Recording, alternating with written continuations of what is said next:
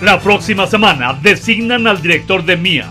De no existir cambios de última hora, en los primeros días de la próxima semana, los integrantes del Cabildo votarán la propuesta para elegir director del Modelo Integral de Agua de Aguascalientes, MIA, organismo público descentralizado que tendrá a su cargo la prestación del servicio de agua potable en la capital del estado. Si bien se ha generado mucho ruido en torno a quién podría tener esta responsabilidad, la facultad de propuesta por ley corresponde única y exclusivamente al alcalde, en tanto que síndicos y regidores pueden votar a favor o en contra, así de simple.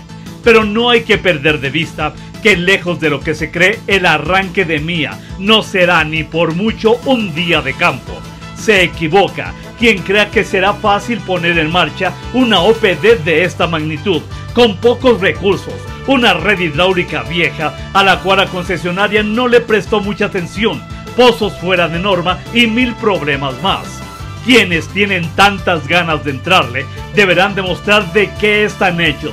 Quieren el puesto, se están condenando literalmente a no dormir, a no tener días de descanso, a renunciar a sus vacaciones. Además, no tienen margen para equivocarse.